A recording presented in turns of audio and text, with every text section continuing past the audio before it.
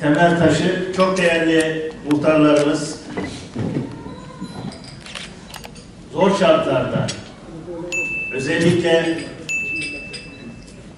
yerel basın Türkiye'de son yıllarda destek almadan büyük mücadele veren çok değerli yere bas, yerel basının çok değerli temsilcileri, çok değerli ilçe başkanlarımız, ilçe yöneticilerimiz, ben de sizleri saygıyla, sevgiyle selamlıyorum.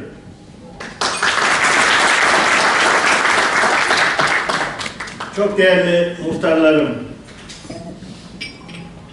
Kocaeli aslında baktığınız zaman Türkiye'nin göz bebeği.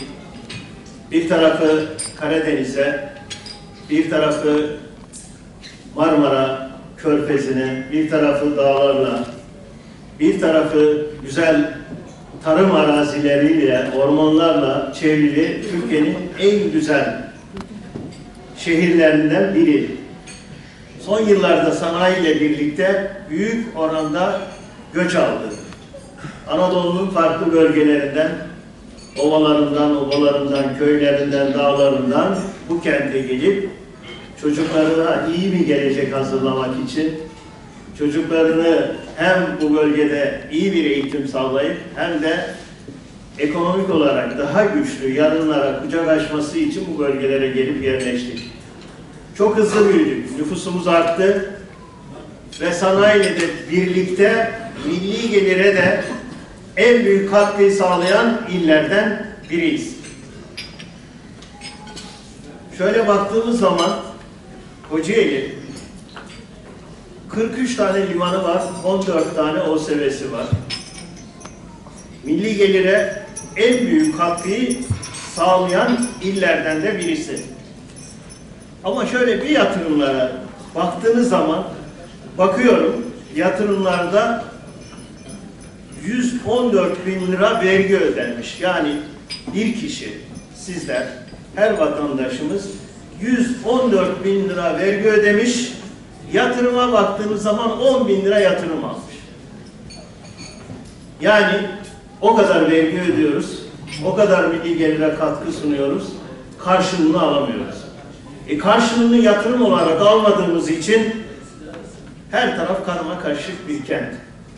Akşamları Akses Sapağı'nda, Şekerpınar'da, Darıca giriş çıkışlarına baktığınız zaman, Gölcük İzmit yollarına baktığınız zaman trafik saatlerce duruyor. İnsanlar hem sabah hem akşam saatlerce işe gitmek için, evine ulaşmak için mücadele ediyor. Raylı sisteme bakıyorsunuz. Dediğim gibi 43 tane liman var. 14 tane OSV var. OSV'lere ulaşım olarak bir metre dahi raylı sistem, demir yolu yok. İster istemez kamyonlarla birlikte, o kamyon yüküyle birlikte trafik tıkanıyor. E bir metro yapılıyor, 15 kilometre Gebze'de Darıcagil metrosu. Yıllardan beri Büyükşehir yapmaya kalktı, beceremedi, bakanlığa devretti. Bakanlık hala bitiremedi. Sürekli soru önergesi veriyorum mecliste ne zaman bitecek diye. Her yıl bir ileri tarihe atıyor, atılıyor. İşte diyoruz milli gelire en büyük katkısı var. Havaalanımız var. Kocaeli'de üretilen ürünler dünyanın her tarafına gidiyor. Ama o ürünleri üreten yatırımcılar, sanayiciler hiçbir ülkeye gidemiyor, havaalanı yok. Cengiz Topel Havaalanı var, hiç bir işe yaramıyor, uçak kalkmıyor. Artık bir de Sabiha Gökçen'den de Türk Hava Yolları da kalkmıyor. Sabiha Gökçen'i de kiraya verdiler. Yani düşün havaalanımız var yakınımızda, kentimizin bitişiğinde. Türkiye'nin milli gururu, Türk Hava Yolları uçağı yok. Sadece özel şirketler oradan uçuş sağlıyor. Çayrova'da bir şehir hastanemiz vardı biliyorsunuz. Yıllarca gündeme getirdik, mecliste gündeme getirdik. Tabela astılar yapıyoruz diye. Sayın Fikri Işık 2018 yılı bütçesinde söz verdi orası bitecek. Hala hast hastaneden haber yok. E zaten bir Darıca Farabi hastanemiz var. Eylül'den beri başhekim. Herkes özel hastanelere çalışıyor. Bize en çok arayan yoğun bakım ünitesi arayıp hastalarını götürecek, devlette yer bulamayıp e, vatandaşların en çok hastalıkla ilgili arayanlar oldular. Herkes özel hastanelere gönderildi. Bunları neden anlattım sizlere? Bizler muhalefet olarak Büyük Millet Meclisi'nde bugüne kadar milletvekilliği görevi yaptık. Şimdi önümüzde bir seçim var. Demin bir ilçe başkanımız, Gebze ilçe başkanımız bahsetti. Gebze'nin il olması gerekiyor. Özellikle İzmit'te baktığınız zaman batı yakası, batı yakası sanki gelişmemiş bir köy gibi bakıyorlar. Onun için ben her zaman söylüyorum. İzmit açısından da, Gebze açısından da Gebze'nin il olması çok doğru karar olur. Çünkü İzmit de rahat eder. Yarın bize deyip ya biz Gebze'ye çok yatırım yaptık diyemezler. En azından İzmitliler oraya yatırım yapmış olur. Gebzeliler de buraya yatırım yapmış olur. Gebze il olmalı.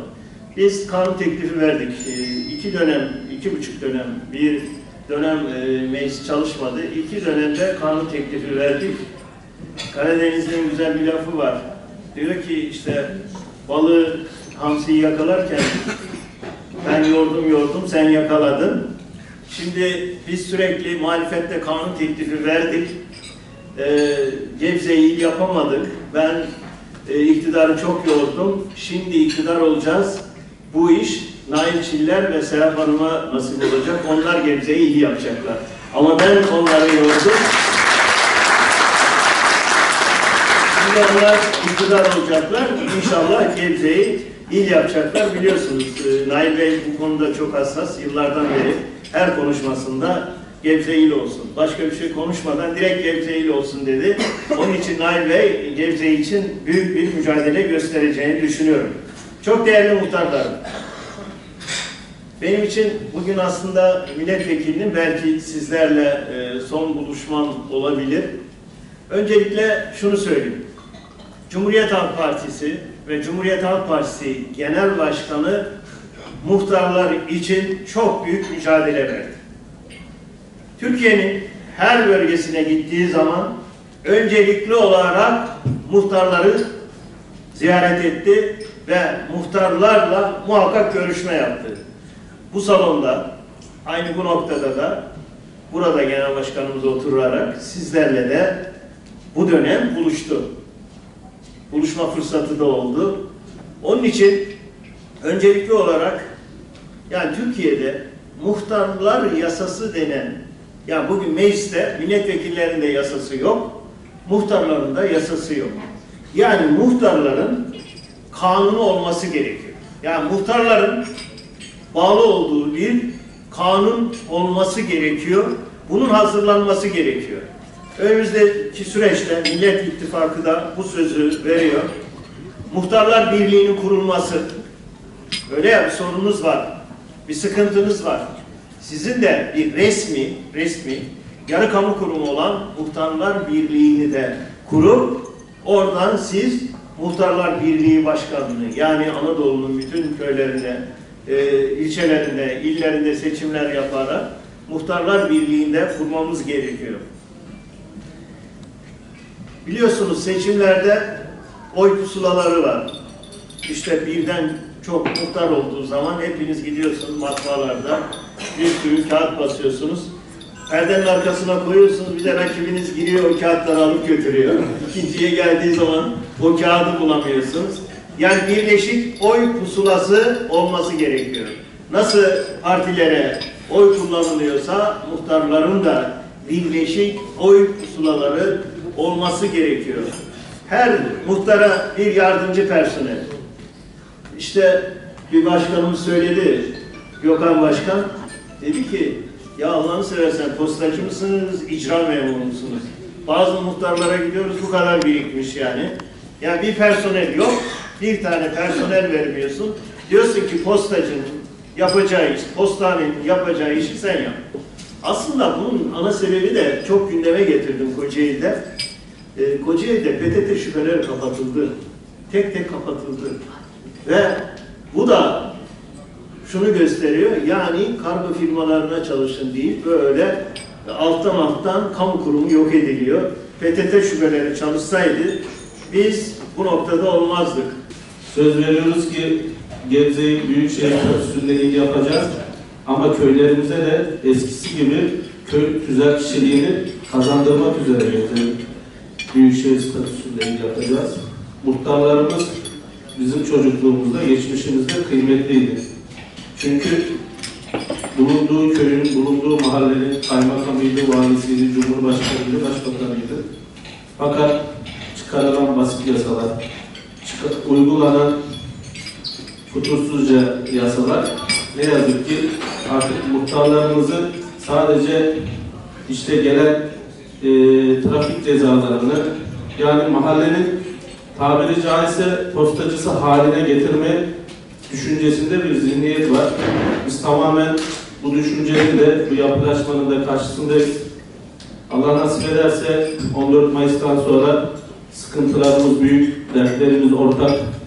Bugün burada yaşadığımız ilin, ilçenin veya ülkemizin sıkıntılarını günlerce konuşsak, günlerce tartışsak bitiremeyiz ama e, inanıyoruz ki birbirinden kıymetli altı gelen başkanımızın bir araya gelmesiyle omuz omuza mücadele vermesi sonucu ortak aday olarak çıkan 13. Cumhurbaşkanımız Kemal Kılıçdaroğlu'nun 14 Mayıs'tan sonra bu sorunların hepsini gönül rahatlığıyla hallederek, hepsini kesin sonuçlarla hallederek ülkemize, ilimize ve ilçemize rahat bir nefes aldıracaktır diyoruz.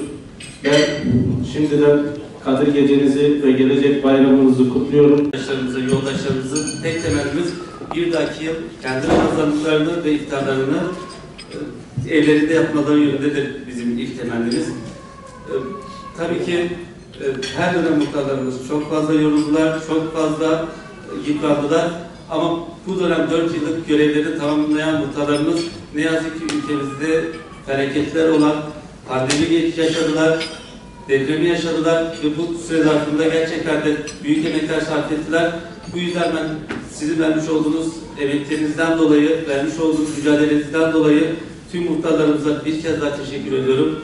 Kıymetli vekilimiz bizi Halil İbrahim sofrasında bir araya getirdi. Kendilerine de teşekkür ediyorum. Hepinize hayırlı akşamlar diliyorum.